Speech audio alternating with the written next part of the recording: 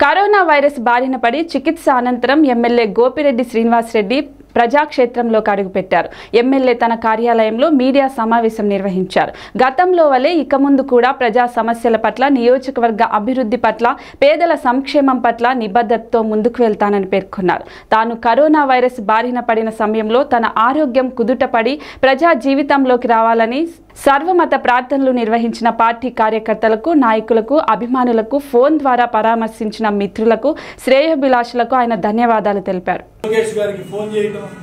అంటే ఇది ఒక ఈ కారణానికి లోకేష్ ఫోన్ చేయడం ఏంటంటే ఇంట్లో ఫ్యామిలీ ఇద్దరు గొడవలు అయితే లోకేష్ సార్ ఫోన్ చేపిస్తారు. ఎటు తీసుకెళ్తున్నారు ఈ రాజకీయాలు? ఎక్కడికి వెళ్తున్నారు? మీకు వినుకొండలో ఐదు సంవత్సరాలు ఏమీ చేయకుండా ప్రజలు బుద్ధి చెప్పారు. బ్రహ్మనాయుడు గారిని ముప్పై వేల మెజార్టీతో సుమారు ముప్పై వేల మెజార్టీతో గెలిపించారు. అంతకుముందు ఇరవై ఆరు వేలు మెజార్టీ పోయి బ్రహ్మనాయుడికి ఇప్పుడు ముప్పై వేలు మెజార్టీ. యాభై ఏడు బ్రహ్మనాయుడు గారు చాలా చక్కగా చేస్తున్నారు. వాళ్ళ సింగం చెరువు.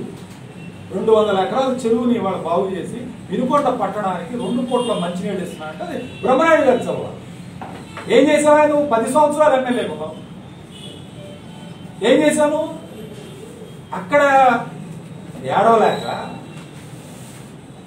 ఇలా గ్రామాలకు వచ్చి చిచ్చు పెట్టే కార్యక్రమం చేస్తారు మీరు. లేనిపోయిన అబండాలు వేస్తారా? పోలీసులు ఏం చేస్తున్నారంట పోలీసులు ఏం చేశారంటే ఐదు సంవత్సరాలు తెలుగుదేశం పార్టీ ఆయన కనీసం పోలీస్ స్టేషన్కి వెళ్ళి కంప్లైంట్ ఏమైనా ఇచ్చారా? కంప్లైంట్ తీసుకున్నారా పోలీసులు? ఇవాళ మాట్లాడుతున్నా ఇవాళ ఏదో ప్రతివతలాగా మాట్లాడుతున్నారు ఇవాళ. ఏం చేశారు ఐదు సంవత్సరాలు? ఒక్కొక్క కాన్స్టిట్యున్సీలో దోపిడీలు దౌర్జన్యాలు ఎన్ని చేశారంటే అందుకని ఓడిపోయింది. ప్రజలు బుద్ధి చెప్పింది మీకు. ఇరవై మూడు సీట్లతో ఇంకా మీకు బుద్ధి రాదు. ఇంకా నిందలేయటం. ఇదే మాట మాట్లాడటం.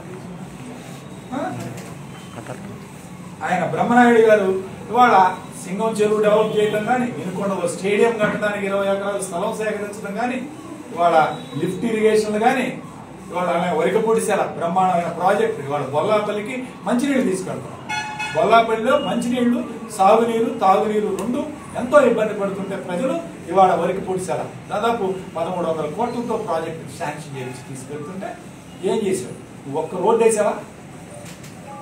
అడగండి వినుకొండ నియోజకవర్గంలో ఏ ఊరు వెళ్ళాలన్నా గంట ప్రయాణం పడుతుంది. కనీసం రెండు కిలోమీటర్లు మూడు కిలోమీటర్లు వేయలేదు. ఇవాళ నిన్నేదో మాట్లాడుతున్నారు విగ్రహాలు ఎన్టీ రామారావు గారి విగ్రహము పరిటాల రవి గారి విగ్రహము ఏదో అక్రమ